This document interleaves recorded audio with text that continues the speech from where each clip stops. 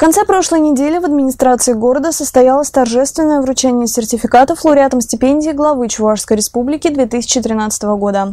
В этом году количество молодых людей, удостоенных высокой награды за особую творческую устремленность, составило 73 человека. В 2012 их было 46. Напомним, стипендия для представителей молодежи и студентов за особую творческую устремленность назначается главой республики ежегодно сроком на один год. Ее получают тысячи юношей и девушек, достигших значительных результатов в учебной, исследовательской, научной, творческой, производственной, управленческой, спортивной, общественной деятельности и бизнес-проектированию, проживающие на территории Чувашии. Ежегодно на эти цели из республиканского бюджета Чувашской республики выделяется более 20 миллионов рублей. Размер стипендии на 2013 год составляет 1830 30 рублей. Государственная поддержка талантливых, социально активных молодых жителей Чувашии создание условий для их самореализации являются одним из важнейших направлений политики, проводимой в республике. Всего с 2004 по 2013 годы было назначено 10 тысяч таких стипендий.